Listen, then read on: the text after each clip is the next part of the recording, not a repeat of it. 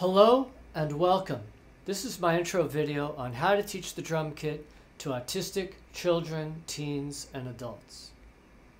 It's also worth noting that this material is very effective for teaching the drums to neurotypical children, often as young as three. A few things I'd like to go over before we get started with the other videos. The first is you want to go through these videos in the order that they're being presented because one builds off of the other.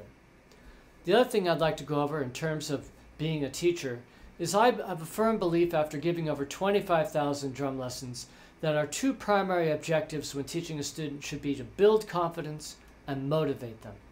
And one of the ways that I found that best works for doing that is to give positive feedback when the student is doing well or has gotten to another level. It's very important to provide positive feedback.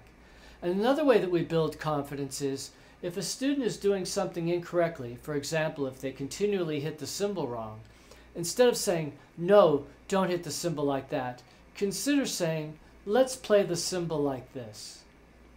Very effective. Another thing I'd like to go over is mirroring. If possible, sit directly in front of your student. And if your student is left-handed, lead with your right hand. If they're right-handed, lead with your left hand.